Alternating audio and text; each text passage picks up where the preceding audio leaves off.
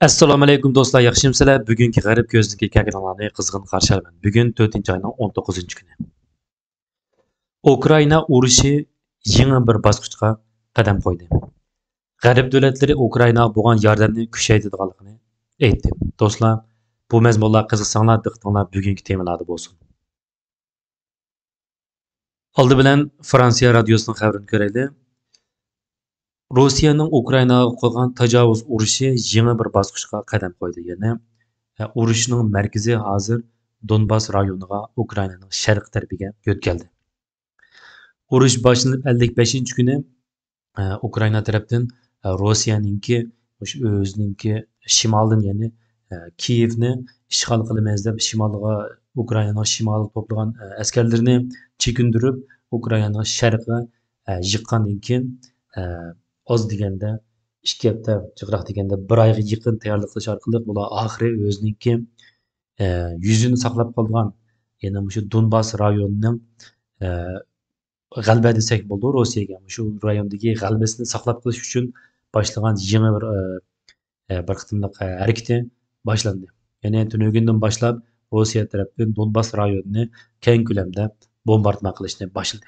Shundoq qilib e, bu rossiya баягы дегендек shimolni mag'lub bo'lib kiyevni ishg'ol qilish bu planidan voz kechib e, keyingi bir qadamdan keyin o'zini yuzini сактап qolgan o'sha donbas rayonini o'zini saqlab qolish shu nimasini e, qadamini rasmiy boshildi dünügünden bu yan bu Rusya tarafından değiş bu iç boğanda e, yüzdün yüzlügen artık жүз kıtımdan artık бомбардман kılış hareketi ile beripti. Bula özlerinin değiş bu e, harbiy e, aslahalarga hujum qildi. E, bu shuning bilan menimcha bu haqiqiy e, muhim bir hal qiliq bir bosqichga kirdi. Rossiya agar shu rayonda bu yerni hujum qildi desak bo'lmaydi. O'sha yerni mudofiasini saqlab qola olsa u chog'da balkim putin hech bo'lmaganda davlat ichidagi xalqini o'zini xalqini bo'lsin aldab man bu yerdan muvaffaqiyat deb deyalish mumkin. Agar mushu rayonni saqlab qolamsa mushu rayonni ukraina ozod qilib u joqda putinniki hech qandaq bir yuzi qolmaydi. Butunlay mag'lub bo'lgan bo'ldi albatta e, janub tarafdami ozroq bor lekin janub taraf e, urush boshlanib bir necha kundan keyin hozirgacha oz deganda ellik kungacha cho'ng o'zgarish bo'lmadi hamda shu nima xaritaga qarab baqaylik ukrainani urush xaritasiga e, do'stlar esinglarda bor yangi boshlanganda rossiya bevosita janubdan sharqdan shimoldan e, bir vaqt hujum qo'zg'ab e, shimoldan hatto hujum qilib ukraina poytaxti kiyevga necha o'n kilometr qorda qolgan mushu rayongacha besib kirgan hozir mana bu rayonlarni ukraina butunlay ozod qilib etdi janub tarafda ukraina tarafdan muhim bo'lgan bo'lgan e, kerson shahrini qaytirilish hujumni boshlab etdi sharq tarafda e, sharq shimol qarasak bular mana hozir urushniki muhim nuqtasi donbas rayoni. Bu rayonda e, urush boshlanishdan burun luhansk va donetsk deb atalmish e, ayrim bo'lgan ikki rayon bor. Undan keyin hozirgacha kishilarning diqqatini tortib kelayotgan mariupol shahri bor.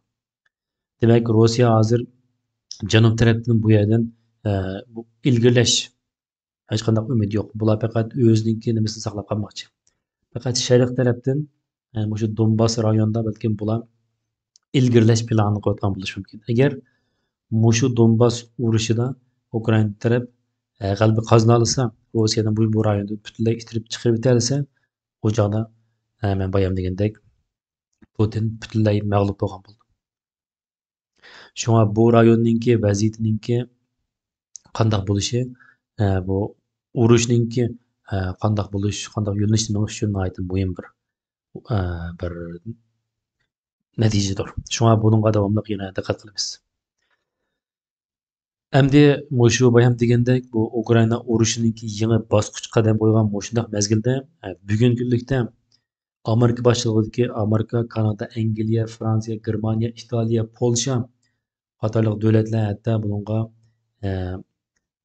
nima yaponiyaniki davlat boshliqlari hammasi yig'ilib bular yig'in ichibdi videolar yig'in ichibdi bu yig'inning asosli maqsadi albatta yana shu ukraina vaziyati va rossiyaga qanday qilib taqobil turish nimasi asos jihatdan mushu hozirgi vaziyatda yana shu donbas rayoniga uch yuz ming ikki tarafdan qo'shilib uch yuz ming askar yig'ilibdi bu shundoq mazgilda g'arb tarafdan zodi qandoq inkas qaytirdi qandoq yordam berdi bu muhim eng yangi chiqqan xabarga qaraydigan bo'lsak e, amerika angliya va kanada tarafdan texmi ko'p qurol yarog texmi ig'ir tipli qurol yarog'lar bilan e, yordam berdiganligini masalan zambirak e, zambirak o'qi to'p o'qi degandek shunday qurollar bilan yordam berganligini e'lon qildi.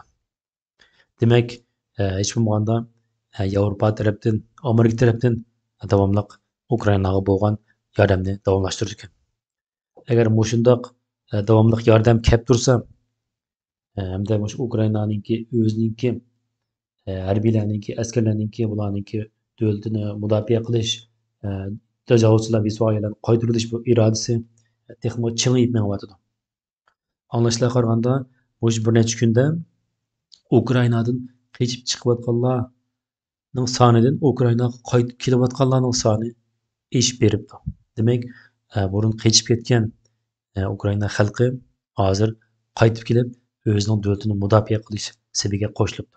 Shunaqa bo'lganda meningcha shaxsiy ko'z qarashim bo'yicha bo'lganda bu qitimliq donbas rayonidagi urushida ukrainaninki e, g'olibiyat qilishi e, g'olibiyatga erishishi e, bu vaqt masalasi deb qarayman. Endi yana bir tarafdan oldingi ikki kunda o'sha ukraina prezidenti zelenskiyni o'zi man shu baydenninki ukrainaga ziyorat kelishiga ishonaman deb shunaqa bir so'z qilgan edi shunga boris jonson berib bo'lgandan keyin bir necha davlatlarning boshliqlari berib bo'lgandan keyin zodi bayden ukrainaga boradi bormamdi bu nuqta bir qiziq nuqtaga aylangan bugun baydenning bayden muxbirlarning savoliga javob berganda man hozir uqmayman boramdim bormamdi uqmayman deb buna javob beribdi demak hozirgacha baydenning o'zining berish bormasligi bu aniq bekitilmabdi meningcha e, bayden cho'qim bordi. Lekin hozir vaqt emas. Bayden meningcha yana bir mazgildan keyin ukrainaniki e, g'olibiyatga erishish e, signallari texmo kuchliroq bo'lganda undan keyin berish berib xuddi g'olibiyatni kelgandek mundoq berish mumkin. Demasam rost amerikaninki yordamida g'arbning yordamida ukraina nurg'un joylarda g'olib g'olibiyatga erishdi buni g'arb bergan yoki bo'lmasa g'aribning yordamida erishgan desak bo'ldi bayden shundoq bir yaxshi vaqtni tanlab borsimu buniki berish ehtimolligi nihoyat yuqori lekin menimcha hozir vaqt emas zodi bu donbas rayonining urush nimasi qanday bo'ldi balkim amerika hukumatining buning bo'lgan ma'lum jihatdan gumoni bo'lishi mumkin endi yaqinqi bir haftadan buyon shu butun dunyoninki e, diqqat markazi ukrainaniki mariupol shahrida bo'lyotidi bu shahar urush boshlagandan buyon urush boshlab bir necha kun ichida qo'rchovda qolib qolgan shunda bo'lsinmi bir oydan ortiq vaqtni ichida shu shahardagi yerlik qurolli kuchlar hamda shu ukrainaniki alohida qismi va ma'lum bir harbiy harbiy qismi hozirgacha to'xtamasdan rossiya bilan kurash qilyotidi garchi bir oydan ortiq ishg'olni ichida qolgan bo'lsinmi bular hozirgacha bal qo'yib o'tmadi bir necha kun ilgari rossiya tarafdan eng oxirgi ultimatum tushirib sizlar yo taslim bo'linglar yo sizlarni qirib tugatmaymiz deb bo'ladi lekin shundoq bo'lsinmi hozirgacha bu rayondagi ukraina askarlari taslim bo'lishni rad qildi mana bu menimcha ukraina xalqiningki o'zining vataniniki birlikni o'zining vatanini qo'g'dashdagi irodasiniki eng yaxshi simvoli endi diqqatimizni e, sal kona bir xabarga tikaydi. E, garchi bu sal bir necha kun bo'lgan xabar bo'lsin lekin men uchun nihoyatda muhim bir xabar deb qarayman. E, o'n beshinchi islo amerika tarafdan olti nafar bir emas ikki emas olti nafar parlament a'zosi tayvanga ziyorat keldi.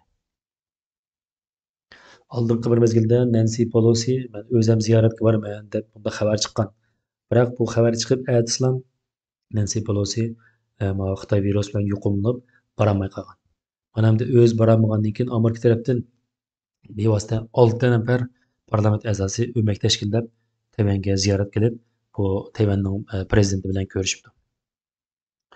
Xitoy to'xtamasdan e, qizil chiziqni sizib bu qizil chiziqdan o'tma o'tsang undoq qilamiz bundoq qilamiz urush qilamiz deydi. Amerika bir qadam besib chiziqdan o'tadi. Xitoy undan keyin yana bir keyingiroq qizil chiziqni suzadi. Amerika o'tadi. Shundoq qilib xitoy bara bara bara bara bara bara qizil siziqni sizaverib keyiniga chekinaverib xitoy yorni oldiga kelib qoldi. Amerika tarafdan to'xtamasdan qistab qizil siziqni dastlab o'tib menyotidi menimcha e, uzoq o'tmay amerikaninki hukumatiningki menimcha bayden o'ziga emasmi antoni blinkin davlat ishlar kotibi darajalik shundoq yuqori amaldordan birisi tayvanga keldi yo bo'lmasa tayvanning prezidenti amerikaga bordi bu menimcha faqat bir vaqt masalasi mushta bo'lganda menimcha xitoyninki eng oxirgi bir qizil chizig'i qolmaydi u chog'da amerikaning tayvanga bo'lgan pozitsiyasi aniqlashadi mushta bo'lganda xitoyni oldida ikki xil yo'l birisi hujum qo'zg'ash urush qo'zg'ash yana birisi bo'ldi tayvanni ayrim davlat ekanligini. Garchi o'zi rozi bo'lmasmi e'tirof qilish. Menimcha hozirgi shetlarninki mijoz xulqi masalan shetlarninki shi zinpinniki shanxayda qilayotgan ishlarini ko'rgandan keyin buning mijoz xulqi va ish qilish usulini mushudan ko'rsak menimcha bular faqat urush qilish yo'lini tanlashi mumkin. Shundoq bo'lganda menimcha mush kun kelganda xitoy alvos partiyasiniki gumron bo'lishiga oz qoldi desak bo'ldi. Do'stlar sizlarmi bu jihatda ko'z qarashinglarni o'tirib qo'yib qilinglar undaqda do'stlar bugungi programma chekichi bo'lsin mening youtube kanalimga mushtir bo'lishni kanalning a'zolik sahifasiga a'zo bo'lishni so'z fikrlarni qoldirishni va boshqalarga taqdim qo'yishni unutmanglar. Do'stlar kelar qism kelguncha omon bo'linglar.